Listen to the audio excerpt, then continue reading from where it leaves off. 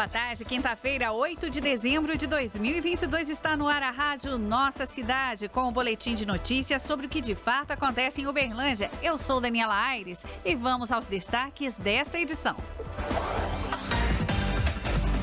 Rádio Nossa Cidade. Equipamentos públicos têm horário de funcionamento especial amanhã. Atletas da Futel disputam Copa Brasil de Cross Country no próximo domingo. Cursos profissionalizantes da Prefeitura participam do Fashion Day. E ainda, Feira da Cultura, edição especial de Natal, acontece neste fim de semana. Essas e outras notícias, a partir de agora, aqui na Rádio Nossa Cidade. Vem com a gente!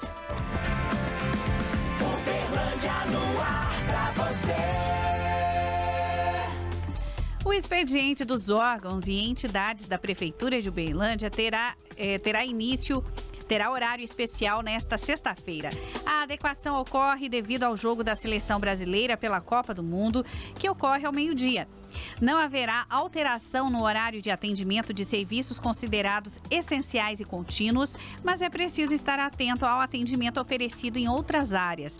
Os serviços da administração direta e indireta funcionarão das 8 da manhã às 11 horas.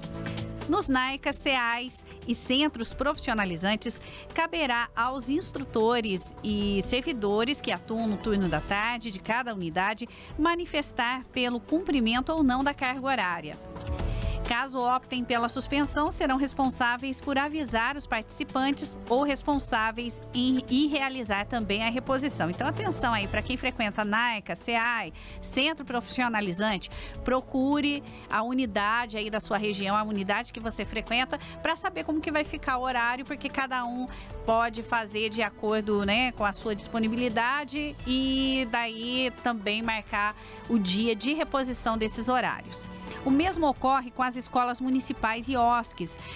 Professores que atuam no turno da tarde de cada escola poderão manifestar pelo cumprimento ou não desse dia letivo. E caso optem pela suspensão, além de avisar os responsáveis, né, as famílias e responsáveis por esses estudantes, vão ter que realizar a reposição das aulas em cumprimento à Lei de Diretrizes e Bases da Educação Nacional. Atletas da Futel Praia Clube disputam Copa de Cross Country. Os atletas Marco Túlio Silva e João Pedro Barbosa, ambos da equipe Futel Praia Clube, competem no próximo domingo em Bragança Paulista. A Copa Brasil de Cross Country vai reunir mais de 300 participantes de todo o país. O resultado vale classificação para, para o sul-americano da competição edição 2023, que acontecerá em Poços de Caldas, no sul de Minas, no dia 22 de janeiro. Exposição celebra bicentenário da independência do Brasil. A Prefeitura de Uberlândia, por meio da Secretaria Municipal de Cultura e Turismo, iniciou nesta semana a exposição Independências no Brasil. Outros 200 outras histórias. A mostra fica disponível no Museu Municipal até meados de abril de 2023, na sala de exposições temporárias segunda edição do Fashion Day mostra trabalhos desenvolvidos nos cursos profissionalizantes da Prefeitura. A Secretaria Municipal de Desenvolvimento Social, Trabalho e Habitação promoveu nesta quarta-feira, em parceria com o SENAC, esse desfile especial que é o Fashion Day. A segunda edição do evento ocorreu no Centro Profissionalizante Lagoinha e destacou o trabalho dos participantes dos cursos profissionalizantes de costureiro, modelagem e corte e costura. O desfile também encerrou o ano de atividades na área da moda nas unidades dos centros profissionalizantes Lagoinha, Luizote e Tocantins. Vamos ouvir o que a participante Lara Cunha tem a nos dizer sobre esses cursos. Eu confeccionei esse blazer, essa regata. Os cursos são excelentes, você aprende bastante. Você faz mais de uma peça e aprende desde o início até o traço do molde para criar a peça até os acabamentos finais. Eu adorei, é uma experiência diferente e a gente se diverte fazendo isso. E eu gostei muito. Obrigada. Giro de notícias. Feira de Cultura entra em espírito natalino neste final de semana.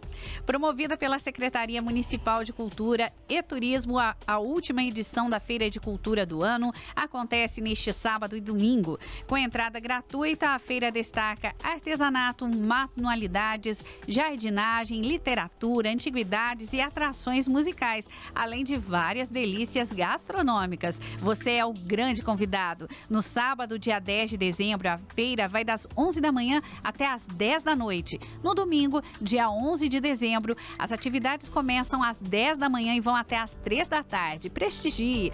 A Feira da Cultura, edição especial Natal, acontece no Centro Municipal de Cultura, antigo Fórum, com entrada gratuita.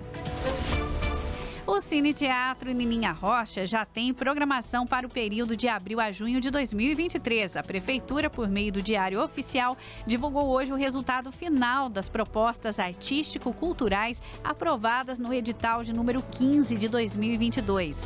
A iniciativa da Secretaria Municipal de Cultura e Turismo impulsiona a produção de artistas locais, levando espetáculos variados à população.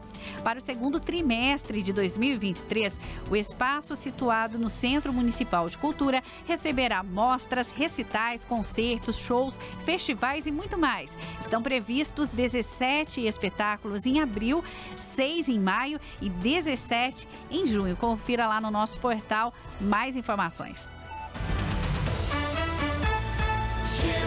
Notícias.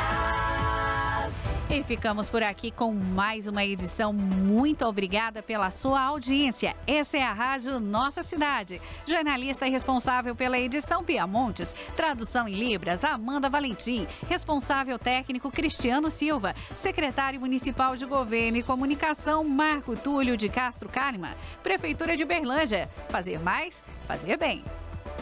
Fica por aqui mais uma edição do programa da Rádio Nossa Cidade.